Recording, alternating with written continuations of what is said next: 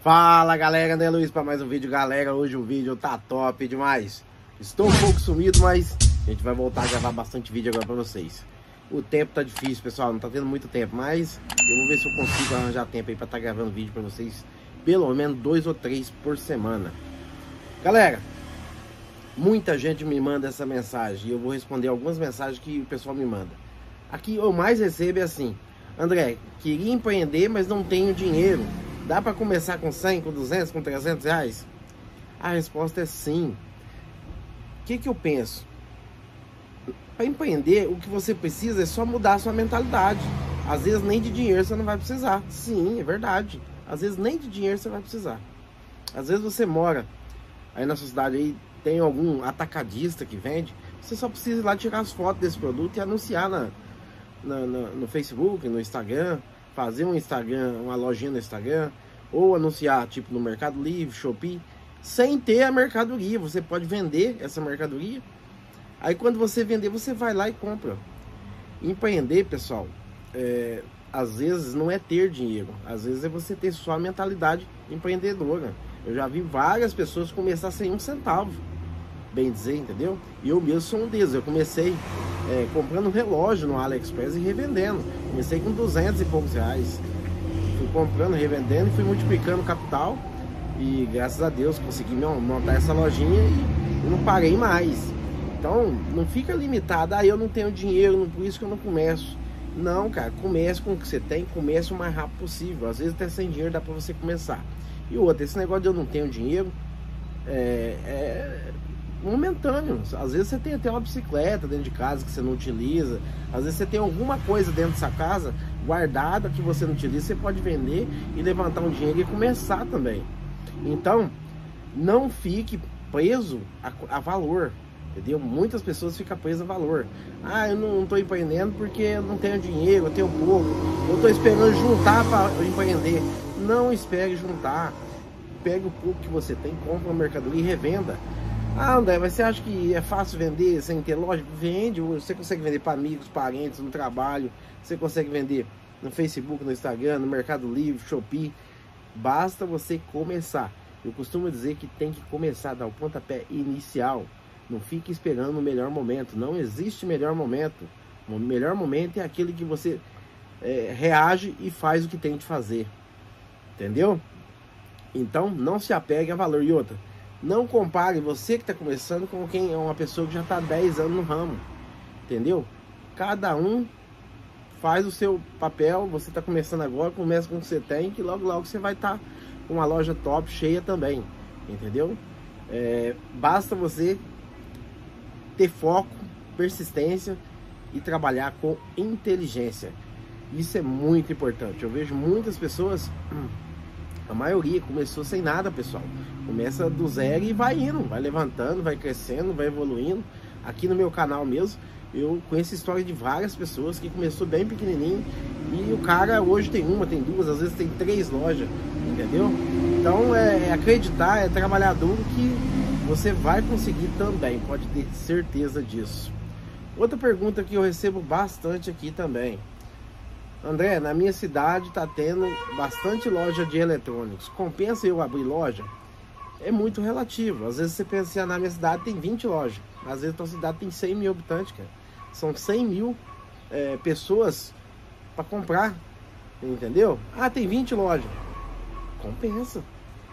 Ah, mas aí a concorrência não vai me atrapalhar? Não, depende da localização que você montar a tua loja. Você está num lugar que tem muito concorrente e não é no centro, não abra ali. Abra no outro lugar que tenha menos concorrência. Ah, mas se for no centro, tem 10 lojas. Centro é um lugar que tem muito fluxo, então não tem problema ter concorrente, ali vai vender, entendeu? Ah, mas é, os concorrentes mais velhos, as lojas é cheiona, é mais bonitão, como é que eu faço para concorrer com eles? Cara, simples. Monte a sua loja no centro, se você puder mandar centro, monte no centro. Como é que eu faço para concorrer? Compre direto da fonte. Não precisa você comprar na atacadista. Ou então faça igual eu fazia antes. O que, que eu fazia? Eu fazia cotação de 6, 7, 6, 7 atacadistas. Aí eu saía comprando. Onde, as coisas que estavam mais baratas nos atacadistas. Faça cotação, isso é importante.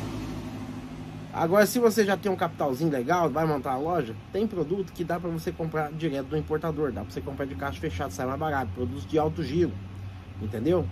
Ah, mas é muita mercadoria, vai ficar. Não, nem tudo que você compra de caixa vem muita mercadoria. Vou dar um exemplo aqui para vocês.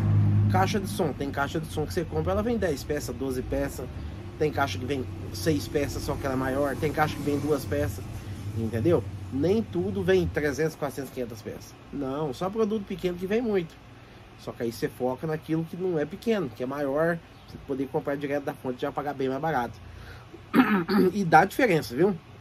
Um exemplo, às vezes você vai comprar uma caixa de som no atacadista, aquela caixa de som, ela tá 68 reais, 70 reais. Lá no importador, aquela mesma caixa, ela é 40, 42 reais. Dá diferença de 30, 40 reais, quase 100% às vezes. Compensa bastante. Já é um, um diferencial que você vai ter na hora de vender, que você vai poder vender um pouquinho mais barato, e além disso, você vai ganhar mais dinheiro do que a concorrência.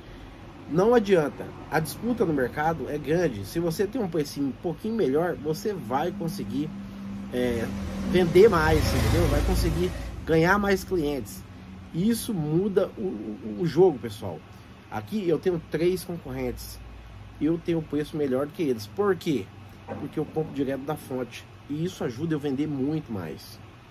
A galera vai nas outras lojas, um exemplo, vai lá, olha uma mochila. Mochila lá tá 120, 130 reais. Aí vem aqui em mim, eu tenho mochila da mesma da dele, 95, 100 reais. Cara, é lógico o cara vai comprar onde tá mais barato. Hoje o dinheiro tá difícil para todo mundo. Ah, André, mas você não tá queimando preço? Não tô, porque eu comprei, eu comprei de fardo, comprei direto do importador. Entendeu? Essa mochila que eu tô vendendo a 90, 95, é uma mochila que eu paguei 30 entendeu? Se eu tivesse comprado atacadista, custava 48, mas eu comprei no importador paguei 30. Então esse diferencial faz, um, faz uma mudança completa. Eu tenho muito cliente que atravessa a cidade, pessoal, para vir comprar na minha loja mochila. Porque nós temos um preço aqui de mochila que loja nenhuma da cidade tem. Já para isso mesmo, para chamar o povo para a loja, entendeu? Use um produto para ele ser o chamariz. Ah, mas eh, se eu fizer isso na loja toda dá certo? Não, não faz na loja toda. Escolhe um ou dois produtos para você trabalhar com preços agressivos para trazer o cliente para a loja, entendeu? Isso ajuda demais, pode ter certeza. Isso é uma estratégia que várias empresas usam, nem empresa pequena, não, empresas grandes, igual Magazine Luiza, é, Casas Bahia, eles pegam lá 4, 5 produtos, fazem um jornalzinho ou fazem um comercial, coloca o preço daquele produto agressivo para chamar o cliente para dentro da loja e aí, chamando o cliente para dentro da loja, ele consegue vender aquele produto e outros produtos a mais, entendeu? Isso funciona também para nós que somos lojistas pequenos. Outra pergunta que eu recebo muito aqui. André, nosso país está em crise. Você acha que eu devo montar a minha loja agora ou eu devo esperar para ver se as coisas melhoram? Deixa eu te falar uma coisa. Eu tenho 40 anos e desde quando... 40 anos de idade. Desde quando eu me entendo por gente, o Brasil está em crise. Se você for esperar o país melhorar para você montar o seu negócio, cara, tu não vai montar nunca. Porque aqui o nosso país é complicado. Aqui é um país que a política não ajuda, os governos são são devagar demais para esse lado, entendeu? E melhor momento, cara, é aquilo que você planeja, que você estuda o negócio que você está abrindo, que você se organiza e que você coloca em prática. Não fique esperando melhoras do governo, do, do país. Você vai ter que fazer acontecer. Eu abri essa loja que eu tô aqui, pessoal, na pandemia, no pior momento que você possa imaginar. E minha loja tá aberta e deu certo. Por quê? Porque eu abri um planejamento bem feito. Eu todo o dinheiro que eu ganhava dessa loja eu reinvestia. Eu trabalhei focado em crescer essa loja por mais de um ano e meio. E deu certo. Por quê? Planejei tudo certinho, botei em prática, fui para cima, economizei, trabalhei duro. No começo aqui eu trabalhava, você ter uma ideia, de domingo a domingo. Hoje não, hoje sábado eu fecho lá para umas 4 e meia, 5 horas da tarde vou abrir só na segunda-feira. Mas antigamente eu trabalhava de domingo a domingo. Ah, André, mas por que, que você fazia isso? Porque eu precisava ganhar dinheiro para comprar mais mercadoria e eu pegava todo o lucro e comprava mercadoria e eu tinha pouca mercadoria. Então eu queria crescer a loja para poder estar tá vendendo cada vez mais. E foi assim que eu fiz e deu muito certo. Então, resumindo, cara, se você quer montar o seu negócio, não fica esperando por melhora, não. Ah, o governo vai melhorar, o governo tal vai melhorar, ou tá ruim, tá em crise, tá isso aqui. Cara, não espera por isso não. Vai e monte seu negócio. O que eu te recomendo é o seguinte, planeje, faça um planejamento de negócio certinho, escolha um ponto comercial bom, que tenha muito fluxo de pessoas passando na porta, estude sobre o negócio que você quer montar e vá para cima, não, não tenha medo de, de empreender, cara.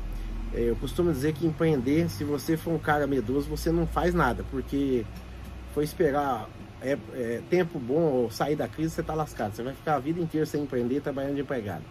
Vai para cima, monte seu negócio que vai dar certo. Basta você usar inteligência, dedicação e, e hoje tá fácil, cara. Na internet, que meu canal mesmo tem mais de 600 vídeos só falando de loja, fornecedores. Então, aqui no meu canal mesmo você vai conseguir muita informação que vai te ajudar Bastante, pode ter certeza disso. Outra coisa que o pessoal fala muito, me pergunta muito, pessoal. André, tem concorrente meu aqui que ele tá queimando o preço.